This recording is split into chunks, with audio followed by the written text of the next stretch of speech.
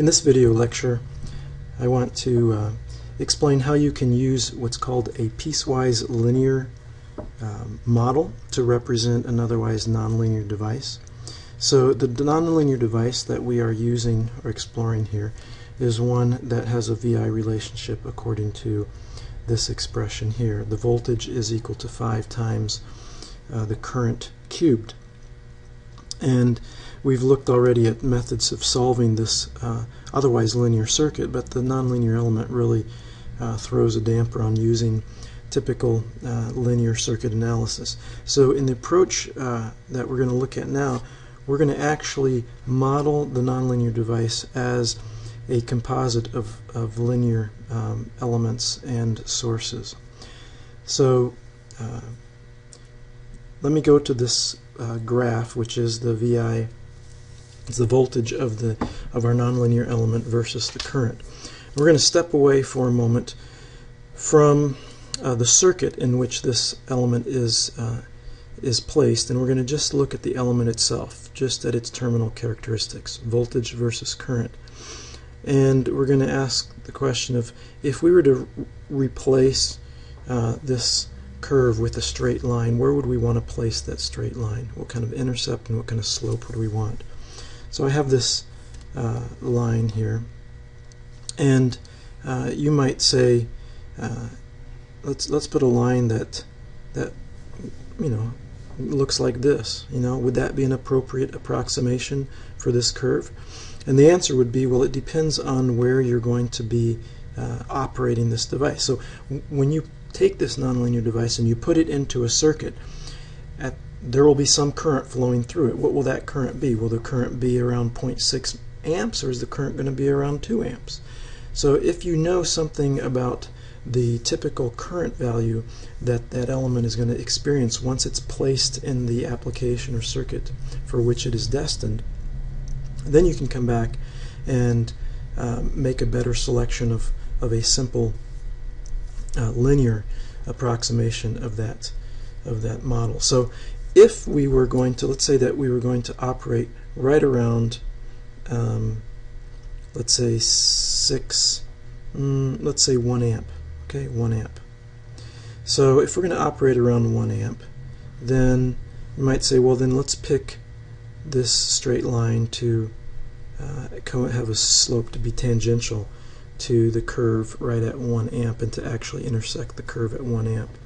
If we used uh, this type of a line, then if we were operating right around 1 amp uh, in the circuit application, then this model would look pretty good.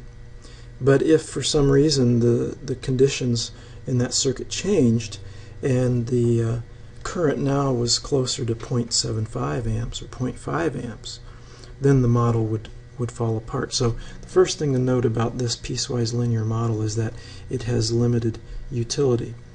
So, um, and I mentioned piecewise, it's called piecewise linear, meaning that in general you could have uh, multiple pieces of straight lines that are all placed together. So if I go back to uh, our little notepad here and I draw the our IV curve. And let me extend the vertical axis here. And let's draw a uh, a straight line. Okay, let's say we want it to intersect, we want it to follow this line here. Now the question is, what kind of a circuit actually produces this type of a of a VI characteristic. Notice that it actually does not cross zero. It's not like a line that goes through zero, right? So strictly speaking, this uh, element that we're going to put in here in place of our nonlinear element for the purpose of analysis is not, strictly speaking, a linear device. But it's got a straight line. So what kind of circuits elements could we use to make this up? Let's say this intersected here down at minus 9 volts. Okay, and let's say that this intersected here at 0.5 amps. Okay, then um, and this device, which we don't know what it is yet, is going to replace our nonlinear element. Okay, so if no current flows through this device or into this device, uh, it has a voltage of minus 9 volts. Minus 9 volts. That means there's got to be a voltage source in here. So I'm going to put a voltage source, and that voltage source is actually uh, minus 9 volts. I'll put 9 because I, I labeled the plus and minus signs accordingly, so we get um, minus 9 volts at the VX terminals. Okay. Now, if we if we uh, push 0.5 amps into the uh, into this element, so if we put 0.5 amps, then at that point we measure what zero volts, right? Because it intersects right here, so we get zero volts. So if we started with minus 9 and we actually now go to 0, that means we've accumulated 9 volts somewhere. And that somewhere is going to be through a resistor. That will actually be equal to 9 volts over 0.5 amps, or in other words, 18 ohms. Okay, so the way that we model uh, a line, straight line, uh, that crosses our nonlinear curve uh, somewhere other than at the origin is by virtue of using a voltage source in series with the resistor. Now you could do source transformation and do a current source in parallel with the resistor. You could do that as well. So um, what will happen is if we replace our circuit now with the same Thevenin source, but now we have a resistor and a voltage source that approximate our nonlinear element. We'll call that Rx and Vx, uh, VSX I'll say. We still have Rs and Vs. Alright, now we can find the current Ix is very simple and straightforward to find. Ix is equal to Vs minus Vsx divided by Rs plus Rx, which for the parameters that we have would be 10 volts minus, we said this was minus 9 volts, right, divided by 18 ohms, sorry, Rs, uh, 5 ohms, I had 5 ohms plus 18 ohms, so that would be 19 volts over 23 ohms okay, which is somewhere around 0.8 something amps. Okay, so the usefulness of um, of using a straight line is that we can replace it with a resistor and a voltage source, and then we can solve it using our linear circuit techniques. Now let's go back to our our graph here, and let me adjust this if it crossed at 0.5, and let's say by 1 it must be at plus 9 so it, oops no no no don't do that. Um, at 1 amp it must be at plus 9 there we go. Okay so that's the that's the curve that we just fit now notice that uh, in the way that I drew it here there are actually two points where the straight line crosses over the nonlinear curve right where somewhere down here around 3 volts and somewhere up around uh, 7 volts or so. And so if we were uh, wanting to operate this source or this nonlinear element over some range, right? Typically you're going to want to operate an element not just at a singular point, but maybe you operate at a singular point, but then uh, environmental parameters change and although you're supposed to have a 10 volt source it sags to 9 volts or it goes up to 11 and the question is how does the current change so you want to pick a straight line that is going to uh, minimize the current over whatever range you're trying to operate over. So let's say that we were trying to operate over a current of 0.5 all the way up to 1 amp. You notice that here, down at 0.5, I have quite a bit of error. So I could move my line up. If I moved it all the way up to, to actually be exact at 0.5, now I've got more error in between.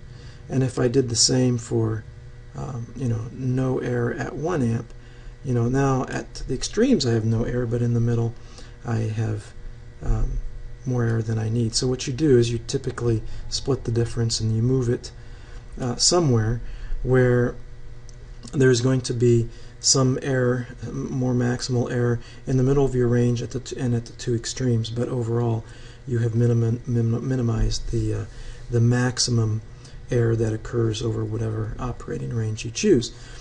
Uh, this can be done, you know, mathematically, but here we're interested just doing this uh, graphically. So you just get a visual on it, and you say, okay, this line looks pretty good over this 0.5 amps to 1 amp range.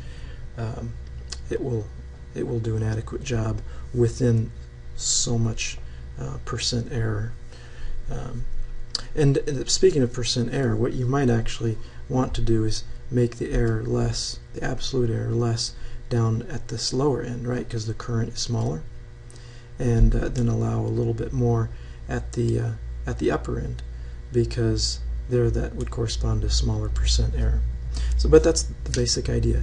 Now, what if you uh, modify the circuit uh, or the environment of the circuit changes such that it turns out that the current flowing goes down below 0.5 amps, goes down to maybe 0.25. Well, in this case, or in the case that I had here, uh, if you went down to 0.25, the model would actually tell you that the current, the voltage that the model puts out, Vx, is now actually negative, right? And negative 4.5 volts, which is clearly not right. So this goes back to why we call this piecewise linear. What we're going to do is actually we're going to split the model into two pieces, or split the overall IV curve of the nonlinear device into two pieces. The first one will be a straight line as described before. The second one will be a horizontal line like this. So we have put two linear lines together and so the, the curve that we're using is uh, linear uh, in pieces. Okay, so we can um, we can say then that uh, our model is going to be as follows: that Vx will be equal to minus 9 volts plus 18 ohms times Ix for currents Ix greater than 0.5. And otherwise, Vx is going to be equal to 0 volts for Ix less than or equal to 0.5 amps. Right? And then the question comes up, uh, if you have two possible models for your uh, device, nonlinear device, then which one do you choose when you, you do a circuit analysis? So let's just work that out. What we'll use is the technique called solution by assumed state. Okay, solution by assumed state. When we create a piecewise linear model for a nonlinear device, we basically have two states, if you will, for our model. It could either be in the state that exists when the current is less than 0.5 amps, or it could be the state when the current is greater than 0.5 amps. And the actual topology, right, the, the values of the elements uh, for our piecewise linear model change. And so we have to pick some values when we do analysis of the circuit, and we have to pick one or the other. So let's uh, let's solve the above the, the above circuit here, where we say we have 10 volts, we have 5 ohms, and now I'm trying to find out what is uh, what is the current flowing. Now I either have this resistance here, Rx, is going to be, see, Ix, will either be 0 ohms if Ix is less than 0.5, or it will be 18 ohms if Ix is greater than 0.5. Right? And similarly, uh, call it VSX, is going to be equal to 0 volts if Ix is less than or equal to 0.5 amps, and it will be minus 9 volts if Ix is greater than 0.5 amps. So what we'll do is let's assume that Ix is going to be less than 0.5. You just guess. Hopefully you can make an educated guess. I've intentionally here made a bad bad guess because I want to show how um, if you choose the wrong thing you can still solve the problem accurately, properly. So if we assume it's less than 0.5, then that means Rx is 0, okay, which means we have a short, and VS, VSX is also 0, okay? So Ix now is simply 10 volts over 5 ohms, which is 2 amps. And but Ix is greater than 0.5 amps. Therefore, we chose, or we guessed wrong, we chose the wrong state. So now what we will do is we will repeat analysis, but this time assume Ix is going to be greater than 0.5 amps. All right, and of course, if that's the case, then we have not a short, but Rx is going to be equal to 18 ohms, and not 0 volts, but minus 9 volts. All right, and now when we solve for Ix, it's going to be 10 minus minus 9 volts, total voltage, driving the uh, driving current, divided by 5 ohms plus 18 ohms, which will be 19 volts divided by 23 ohms, which is somewhere around 8.5, 8 point, or 0.82 amps or so. And note, Ix is greater than 0.5 amps, which agrees with the conditions for this piecewise linear state, or for this state.